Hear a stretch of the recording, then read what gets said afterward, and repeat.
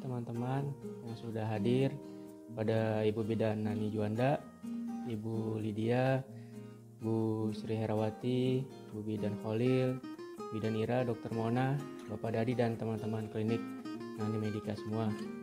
Kali ini kita akan membahas tentang uh, vaksinasi yang dari lahir hingga usia 24 bulan atau 2 tahun. Oke, kita mulai ya. Bismillah. Jadi setelah lahir kurang dari 24 jam eh, bayi-bayi itu harus mendapatkan hepatitis B0 seperti yang sering kita lakukan. Kemudian di satu bulan juga diberikan BCG dan polio tetes pertama.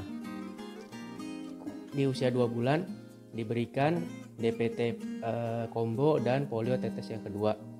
Di usia 3 bulan diberikan DPT combo juga dan polio tetes yang ketiga. Serta di 4 bulan Selain DPT combo polio tetes juga diberikan suntik polio injeksi atau yang kita kenal sebagai IPV. Jadi minimal eh, bayi itu mendapatkan satu kali suntikan vaksin IPV. Kemudian di 9 bulan kita berikan vaksin campak rubella. Kalau dahulu mungkin hanya diberikan vaksin campak, namun sekarang ada vaksin rubellanya, jadi diberikan vaksin campak rubella atau campak Jerman. Kemudian di usia 18 bulan diberikan DPT combo lagi satu kali dan vaksin campak rubella. Di anak usia SD kelas 1 diberikan vaksin campak rubella dan difteri tetanus. Anak kelas 2 dan anak kelas 5 diberikan tetanus difteri yang biasanya diberikan bersama dengan program bulan imunisasi anak sekolah. Ya, di sini kita bisa lihat ya, ini adalah jadwal imunisasi yang ada di buku KIA atau di buku PING. Perlu diingat bahwa eh, jadwal ini pada usia 4 bulan ada pemberian polio tetes dan juga polio suntik. Sus, kalau misalkan sekarang lagi susah untuk mendapatkan polio yang suntik, injeksi IPV, maka saya sarankan bisa diberikan vaksin DPT yang combo yang 6 yang sudah ada vaksin IPV-nya di dalamnya.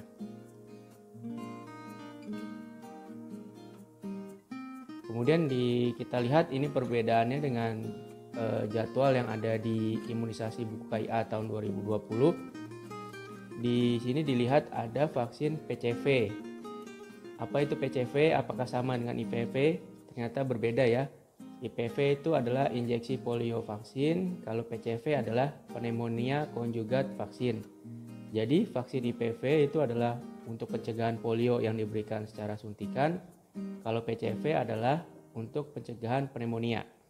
Vaksin Japanese Encephalitis atau JE. Di sini ditulis diberikan pada usia 10 bulan. Kalau vaksin PCV pada buku KIA cetakan 2020 diberikan pada usia 2 bulan, 3 bulan, dan 12 bulan. Ini adalah jadwal imunisasi anak menurut rekomendasi Ikatan Dokter Spesialis Anak ya tahun 2017 yang sering lupa adalah di usia 2 bulan. Jangan lupa di usia 2 bulan ya kita berikan vaksin tetes rotavirus dan juga vaksin PCV. Untuk vaksin rotavirus itu diberikan ada yang dua kali yaitu vaksin rotavirus monovalen, ada juga yang diberikan tiga kali vaksin rotavirus pentavalen. Kalau diberikan dua kali hanya diberikan di, di usia dua bulan dan usia 4 bulan, sedangkan yang diberikan tiga kali ada satu lagi di usia 6 bulan. Untuk vaksin PCV menurut rekomendasi untuk vaksin PCV menurut rekomendasi IDAI diberikan empat kali di usia 2 bulan, 4 bulan, 6 bulan dan yang terakhir 12 sampai 15 bulan. yang kombonya isinya 5 uh, eh, ada difteri pertama pertusis tetanus HIV dan hepatitis B. Di dalam vaksin DPT yang combo 5 tidak ada vaksin polionya maka dari itu kita berikan bersamaan dengan polio tetes atau minimal satu kali mendapatkan vaksin polio injeksi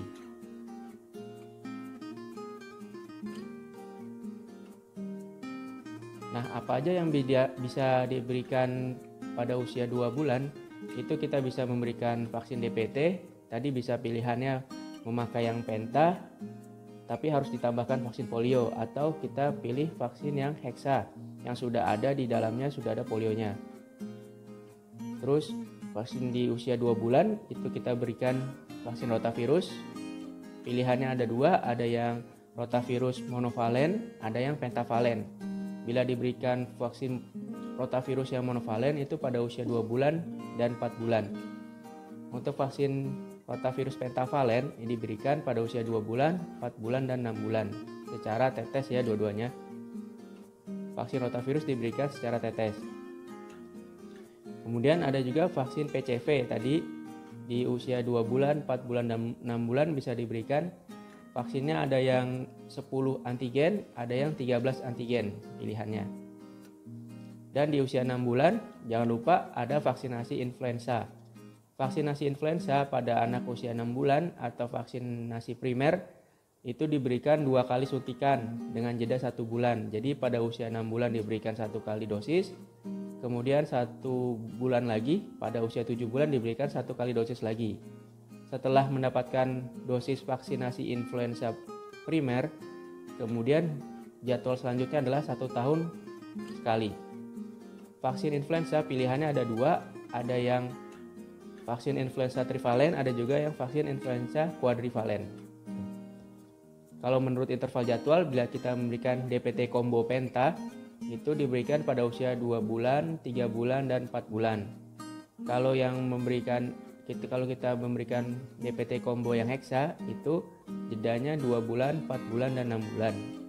Perbedaannya pada vaksin DPT combo yang penta tidak terdapat vaksin polio.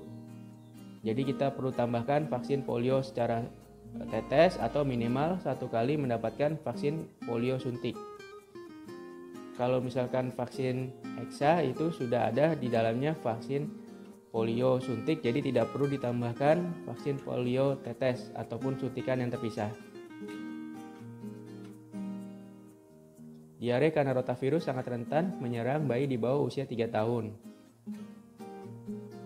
Dia biasanya diarenya menyebabkan banyaknya kehilangan cairan yang berakibat pada dehidrasi. Tidak sedikit pula bayi yang bisa mengalami penurunan kesadaran bahkan harus sampai dirawat untuk mendapatkan pergantian cairan. Gejalanya, rotavirus itu biasanya diarenya disertai dengan muntah, kemudian ada demam tinggi, terus diarenya sangat berat ya, dan ciri khasnya biasanya diarenya itu airnya banyak sekali yang keluar.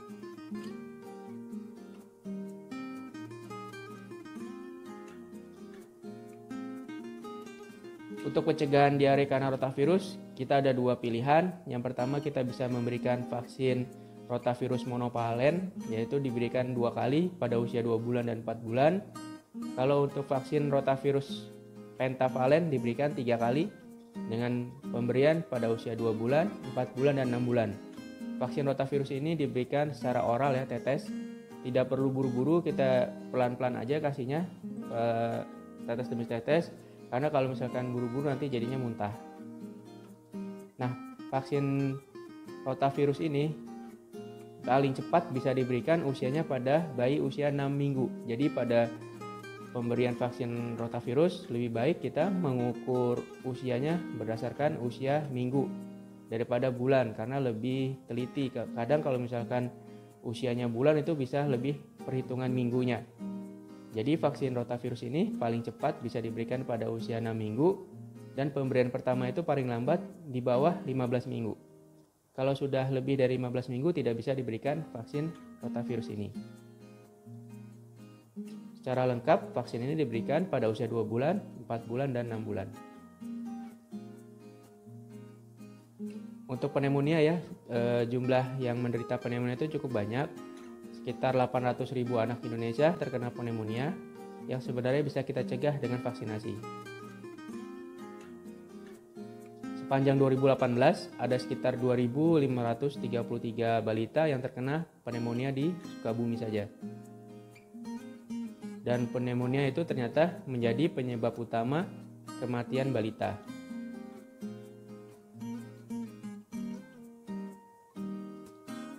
Indonesia ternyata menjadi urutan 10 dunia soal kematian balita akibat pneumonia. Jadi sangat banyak ya. Dan bahaya pneumonia itu apa aja?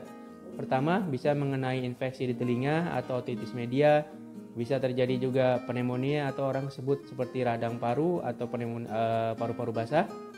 Kemudian si bakteri pneumonia ini bisa menyebar ke seluruh tubuh melalui darah atau kita sebut dengan bakteremia dan juga bisa mengakibatkan meningitis yang gejalanya biasanya disertai dengan kejang-kejang, bisa juga penurunan kesadaran.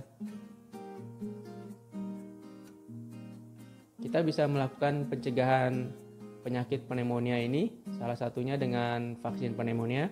Pilihannya ada dua untuk vaksin pneumonia, ada yang 10 antigen, ada yang 13 antigen.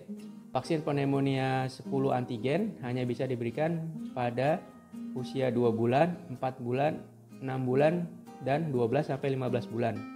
Untuk vaksin pneumonia 13 antigen bisa diberikan juga untuk orang tua di usia 50 tahun ke atas. Pencegahannya untuk pencegahan pneumonia, pencegahan meningitis, serta pencegahan otitis media. Kemudian kita ke vaksin influenza ya. Jadi Vaksin influenza ini sudah bisa diberikan dari sejak usia 6 bulan. Dosis untuk vaksin influenza anak itu setengah dosis yang diberikan pada usia 6 bulan sampai usia 3 tahun. Untuk anak-anak di atas usia 3 tahun sudah bisa memakai dosis dewasa. Untuk anak-anak usia 6 bulan sampai 9 tahun yang belum pernah mendapatkan vaksin influenza sebelumnya, maka kita berikan dosis vaksin influenza primer yaitu yang cara pemberiannya dilakukan dua kali dengan jeda satu bulan. Apabila sudah pernah mendapatkan vaksin influenza primer, maka vaksinasi influenza selanjutnya dilakukan satu kali setahun. Vaksin influenza itu ada dua pilihan, ada yang trivalen, mengandung dua jenis influenza tipe A dan satu jenis influenza tipe B. Yang kuadrivalen mengandung dua jenis influenza tipe A dan dua jenis tipe B. Kedua-duanya vaksin trivalen dan quadrivalen yang beredar di Indonesia adalah vaksin yang inactivated. Vaksin influenza juga direkomendasikan untuk ibu hamil terutama trimester ketiga. Jadi vaksinasi yang bisa diberikan kepada ibu hamil bukan hanya vaksin tetanus toksoid saja. Sekarang vaksin yang bisa diberikan kepada ibu hamil pertama adalah tetanus difteri atau bisa juga diberikan tetanus difteri pertusis. Tetanus difteri pertusis pada ibu hamil bisa diberikan pada trimester ketiga, serta vaksin influenza juga bisa diberikan pada trimester ketiga. Selain itu, penting juga memeriksakan status hepatitis B ibu hamil. Kita cek HBsAg dan anti HBs-nya. Jadi, pada ibu hamil bisa diberikan vaksin hepatitis B vaksin influenza, dan vaksin tetanus difteri atau bisa juga vaksin tetanus difteri pertusis.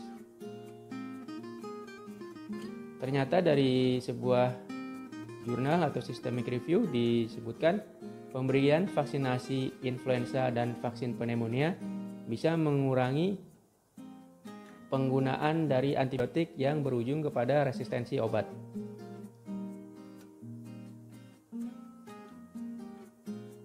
Kemudian kita akan membahas tentang vaksinasi yang diberikan pada anak usia 12 bulan atau satu tahun. Itu bisa diberikan vaksin varicella ya atau cacar air dan juga diberikan vaksin Japanese encephalitis. Dan bisa diberikan juga vaksin PCV yang keempat. Vaksin varicella itu eh, diberikan pada usia anak satu tahun untuk mencegah uh, infeksi virus varicella.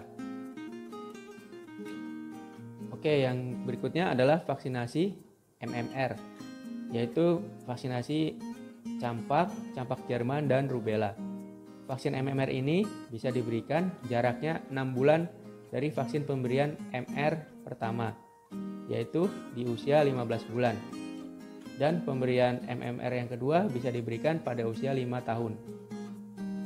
Jangan lupa di usia 5 tahun itu anak bisa mendapatkan atau usia sekolah dasar kelas 1 bisa mendapatkan vaksin MMR, vaksin tifoid kedua, Kenapa vaksin tifoid kedua? Karena vaksin tifoid yang pertama bisa diberikan pada usia 2 tahun. Dan vaksin tifoid ini diberikan 3 tahun sekali sehingga vaksinasi tifoid kedua diberikan pada usia 5 tahun. Dan juga jangan lupa vaksinasi influenza setiap tahunnya. Jadi pada anak usia 5 tahun atau usia 6 tahun sekolah dasar kelas 1 itu kita berikan vaksinasi MMR, vaksinasi tifoid, vaksinasi influenza dan untuk program bulan imunisasi, anak sekolah diberikan difteri dan tetanus. Yang terakhir diberikan vaksinasi Japanese encephalitis ya pada usia 12 bulan, kemudian diulang lagi pada usia 2 tahun atau 24 bulan. Vaksin ini termasuk vaksin hidup yang dilemahkan. Dia untuk mencegah infeksi Japanese encephalitis yang ditularkan melalui nyamuk culex. Penyakit Japanese encephalitis ini tidak hanya banyak di Jepang, tetapi juga di daerah Asia seperti negara kita dan negara Korea Selatan, Filipina, Myanmar, dan Cina juga. Ya, cukup sekian. Terima kasih atas perhatiannya. Bila taufik walidayah. Assalamualaikum warahmatullahi wabarakatuh.